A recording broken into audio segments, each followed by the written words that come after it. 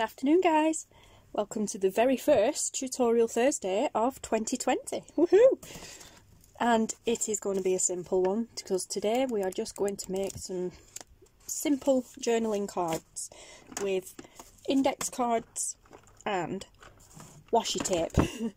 Everything is piled into this box because I took some photos and put it on Instagram and social media the other day, last week I think it were actually. Um, this is all the stuff that I piled into this box and took over to the table with me in the living room instead of working here in the craft room because Taylor was in here. Um, but yes, I did these whilst watching um, YouTube videos actually, and it's just some simple little, with some simple journaling cards basically out of index cards. As you can see, I have three different types of journaling cards here. Uh, index cards here. Um, I have these ones, which have a red line across the top. I have these white ones with blue lines across the top, and then I have a pad full of coloured ones, which are slightly bigger. Um, and I used them to put my nautical stickers on, which I got as a birthday present. Yay! This is all I did guys, just basically stuck them on to the cards in a aesthetically pleasing fashion. so there we go. And that one, the only thing I haven't done yet is ink around the edges. That is because, um, well, one, you know I'm not a huge lover of inking. I do like it, don't get me wrong, and I do do it. I'm just lazy and I forget, or I can't be bothered. Um, but these aren't finished yet because I am going to sew around the edges of them and then I will ink after I have sewn them. So put them in there and I'm just going to go through the ones that I've already done, which are that one. These are vellum stickers, that's washi tape. These are some vellum stickers, which is awesome because you can see through. Um, yeah, so like some botanical ones. I love the butterfly ones. There's all sorts. I just grabbed all the stickers and washi tape that I have. Well, not all of them, but the majority of them. The ones that I thought would work well. And just got sticking, basically. But like I said, these are, I will sew around the edges of all these before I ink around them. If I think it needs it after sewing. I like that one. It's like a little postage stamp. That postage stamp is gorgeous just on its own. Again, a vellum sticker. Another vellum sticker with a butterfly on. Some washi tape, just simple. I think they were cacti. Washi tape. Just some simple flower washi tape. I love that tape. I use that tape on presents actually. And then I did some stamping. I wasn't quite fond of the stamping version. Um, but yeah, I'm, I think stamping isn't my thing, to be honest. Got a bit of mark on it there. But yeah, and it will like stamp once and then again to get a lighter impression. Also stamped off a few times before stamping again as you can tell my stamping my stamp off page. But yes yeah, so there you go guys. You know that's pretty much the collection that I did. It looks like it takes about five minutes to do all that but it didn't. It took about half an hour 45 minutes but you know. Um, I got my inks out ready and everything. Didn't use them. Like I said I will do that after. Um, but I have these washi tapes this one is a bit like tickets. Oh, come on. Yeah, this one is a little bit like tickets. Focus, thank you.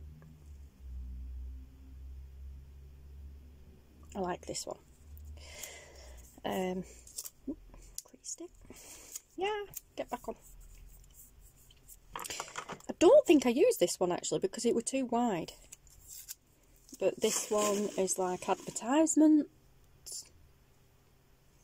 So like that one. Nice wide one. Oh, didn't go that way, it went in that way. I love how they just fit in them tubs. In fact, I'll leave the lid off and then I can see what's in there. Um, corner puncher, corner rounder I didn't use. Um, oh, these are some stickers. They are full sheet stickers. I didn't like them. They didn't work. Them was the nautical ones that I used. I'm not going to use them again. Again, like I said, I have a pad full of coloured index cards. Um, more inks that I didn't use. Glue that I didn't even use actually, so that can go back in the glue tub. Then I know where it is. I was looking for that the other day. Um, that even in there? Because it's not. Oh, right, it's in now. Wasn't sitting in properly. Um, yeah, my ink dabbers, dabbers, whatever you call them. I love these ones. These are finger ones. Um, different colours, obviously, for different inks, but just put it in finger and use it. I find it so much easier using these than using the circle ones or the rectangular ones. I make far too much mess with those. These are awesome. Again, another ink pad. Like I said, didn't use them, not yet. I'm going to sew around all them, all of them first before distressing, if I even distress. Um, yeah, them were the ones that I used for stamping, which I'm not going to do today. And then we have these. So let's get rid of that tub. That's my stamping block. So let's put that back. Um, but yeah, so we have some stickers in here, which, oh, I didn't use them. No, I actually didn't use these stickers because these are white stickers. Like, they've got a white background on them.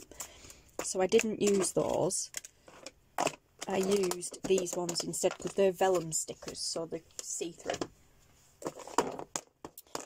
So yeah, I threw all my vellum stickers that I have together in this tub. A couple of different packs that I have. I threw them all together here in this tub, so there's a bit of a mix. Um, but like I said, they're all vellum stickers, so when you put them on the page, you can see through them. Random ones, kind of no rhyme or reason to them, just whatever I had to hand. Where are my index cards? There they are. These are my plain index cards in a proper tub. Like I said, them are quite old ones. These are these are actually kind of refills. I got it as a bundle for a refill. So they're different to these. These came in the tub with these little dividers which I'm going to use as templates to make file folders at some stage. But yes, Today, however, we're not going to use index cards. Today, I'm going to use tags.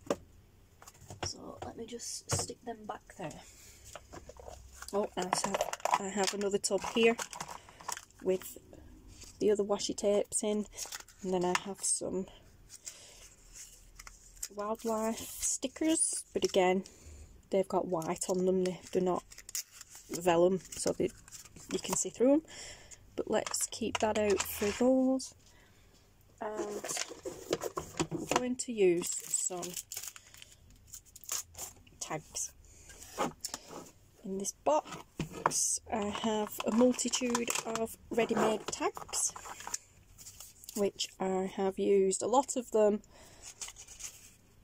I have used these shop bought ones as a template. Um, so literally for all of these, all of these tags are made from cardstock and I used this shop bought tag as a template. But yeah, it was all cardstock from scrapbooking card that I didn't think I was going to use for anything as full sheets. That's just plain white, pretty much cardstock paper. That was also a 12 by 12 paper pack that I didn't like it as a full sheet, but cut up into tags, it looks pretty awesome. So I probably won't do anything with them. I'll probably actually just leave them and sew around them. And we're not going to use plain ones. Oh, actually, yeah, we will. Let's use the plain ones. Let's be boring. And then I have some tall ones, which I made with my tag punch. I made with this. Not just tall ones, there's a few different sizes which I made with that. Again, out of cardstock. There we go. So, yeah. And that's a shop bought tag. But let's use these ones today. But like I said, it is just literally just getting some washi tape or stickers or whatever and laying them on the tags or cards however you think is appropriate and then we'll sew around the edges just to add a bit extra to them basically. It really is as simple as that guys. Now what's that going to look like down the side of a tag? Could be quite interesting. So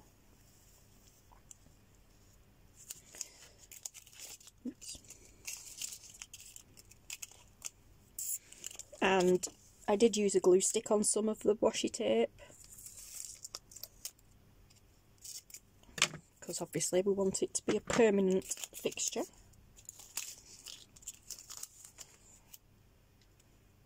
However, for the purposes of this demonstration, which is pretty self-explanatory, but it's the first of the year, let's keep it simple.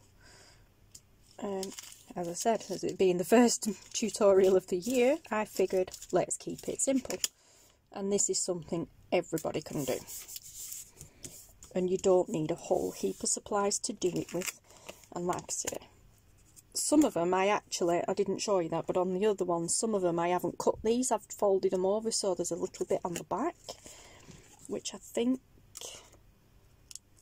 I will do with this one. fold that that way, fold that that way, and then let's just fold it back over the top. There you go.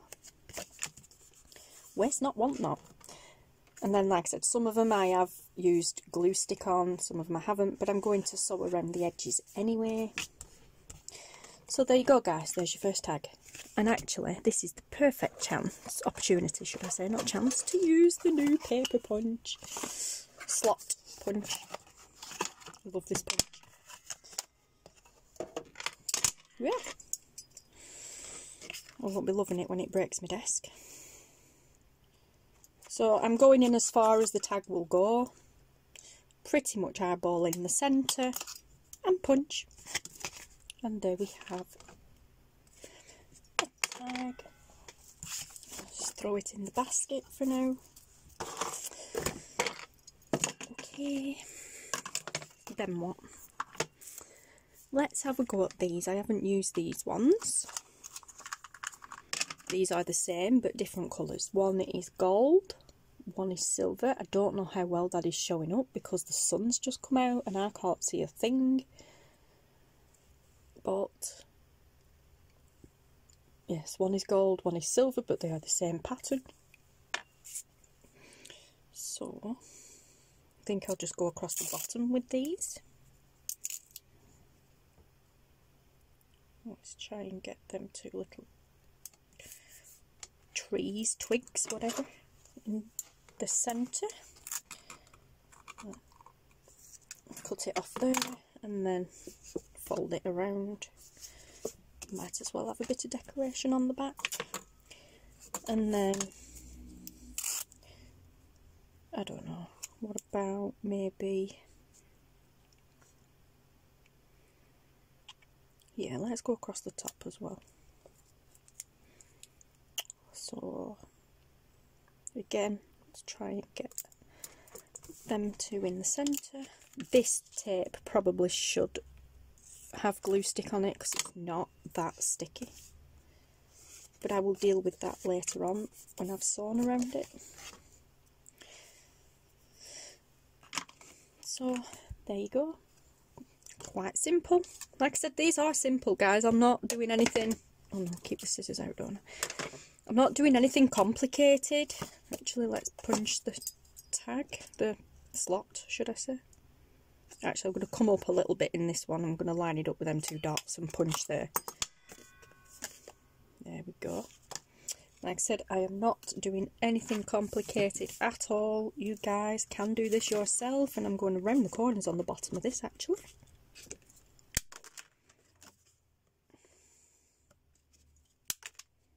Know, just because I quite like tags when they've got the corners rounded on them.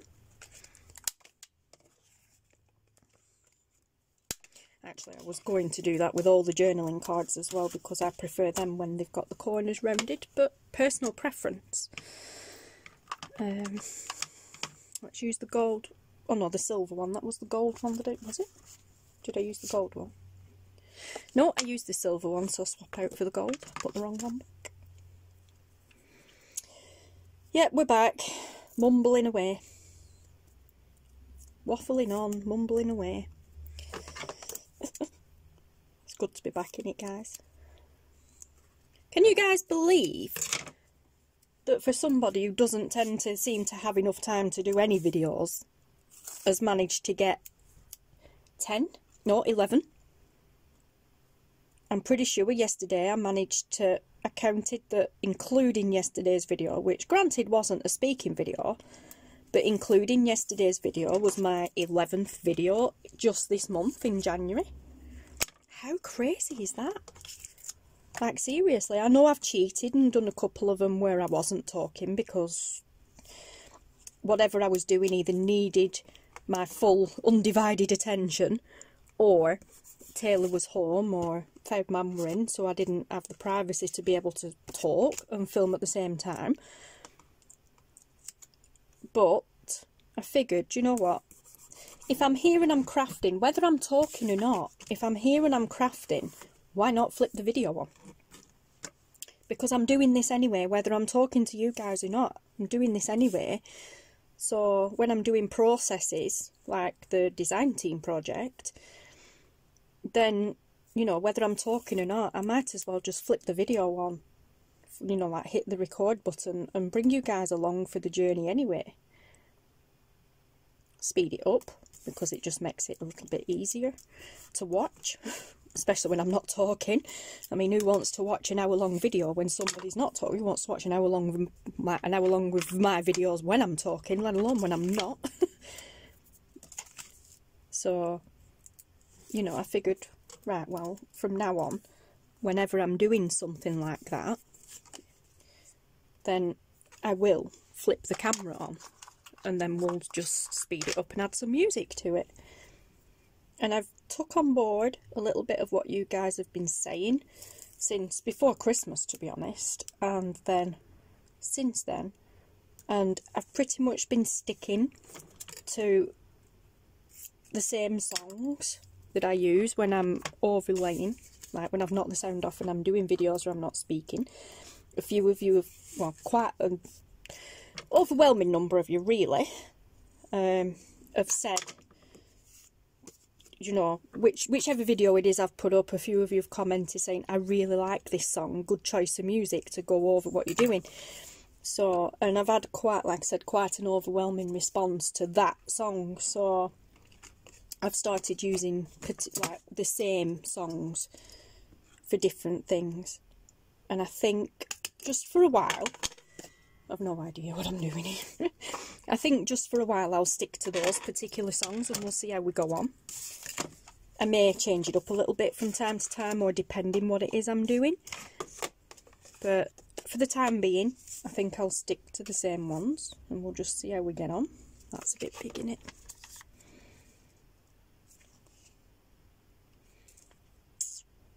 That's upside down. Okay, so we won't use that one. Oh, this video sucks, guys, doesn't it?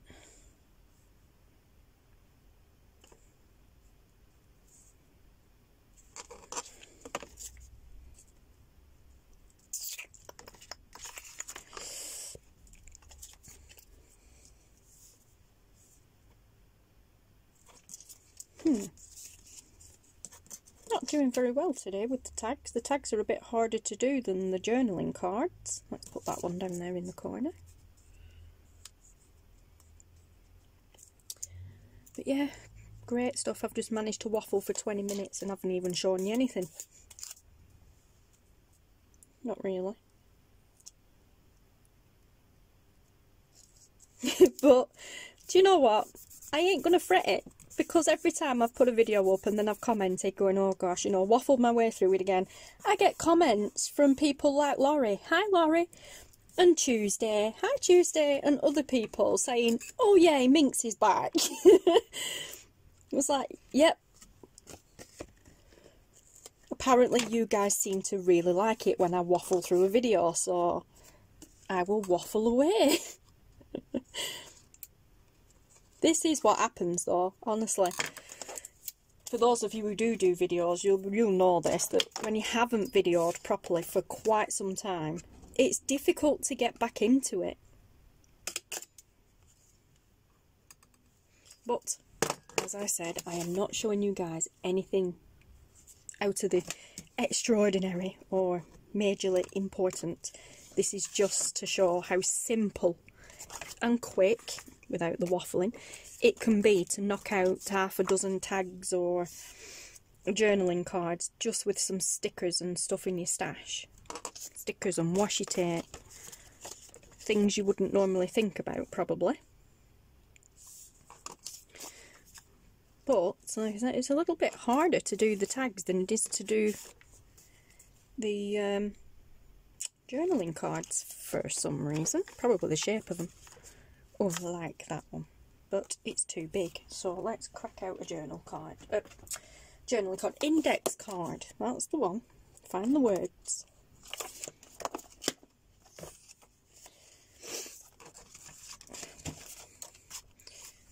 Again, no different with the journaling card, with index cards than it is with the tags. Although what I what I was doing where if anything had text on it, I was lining it up with the line. So you see there, even though it's hanging over either side, I was lining the design up at that side. But then instead of having it there where it's in between lines, I was raising it up so the bottom line of text was sitting on the bottom line of the card to make it look intentional and then either cut the edges off or wrap them around the other side. These stickers are quite sticky so don't, sorry guys, don't necessarily need tape on them, uh, tape, glue on them.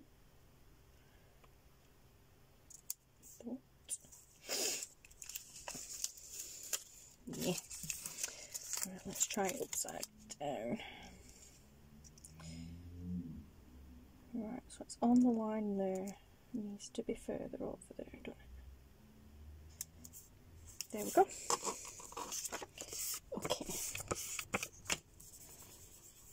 And yes, I could have inked around it to make it stand out, but you know, this is me. See what I mean? That text is now sitting on that line as though it's intentional, but it's still lined up here on the side. I'll cut that extra off or just wrap it around and then when I sew around it it'll get caught in. I quite like that one. Let's round the corners on this one.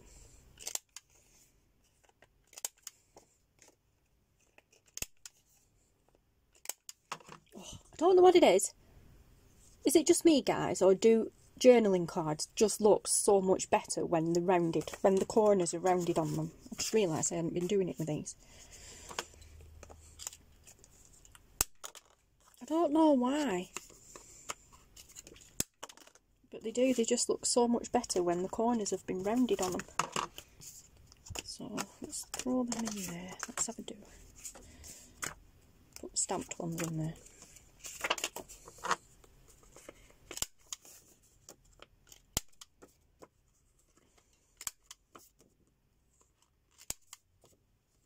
I don't know why it just looks so much better, so much finished, like it's finished now.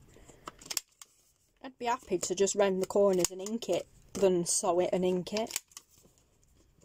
But I will sew around it because I seem to have a obsession with the sewing machine at the moment. Oh, speaking of sewing machines, one second. I'm not going to bore you and do all of these in one go, just give me a second.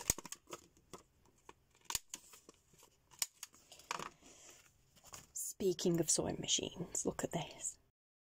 Some of you may have seen this in Vlogmas, but look what I got at Christmas! I bought myself a dinky little sewing machine and it's awesome! And I mean, it's really awesome. It is so small. Bear with me while I get it out the box. But it's proper awesome, guys, because you can use it plugged into the mains or it runs off batteries. It has a foot pedal, but it also has an automatic switch on it.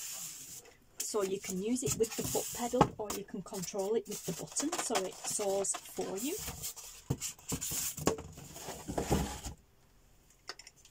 And besides the fact it's pink, this guys, look how diddy it is.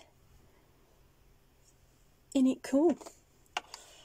But yeah, so this button here, um, it hasn't got any batteries in, but this button here, if I flick it to this, uh, not left, although it is left, um, that's low. The L means low, so when you have it on that, it goes a little bit slower. When you have it on that side at H, it's high, so it goes a bit faster. That's your back stitch button. These are the stitches it does, so just your basic straight stitch, zigzag stitch. I think they're for making buttonholes, to be honest.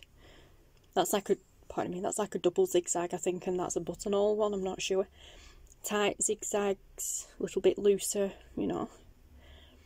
But yeah, how cool, guys. I love it. This knob controls these. So obviously if you have it on one, you're doing a straight stitch. If you have it on, if you flick it to number 10, it does that stitch. That's what that's for. So it's so simple to use and understand. Um, it has the usual little lever here for lifting the foot up and down your tension there.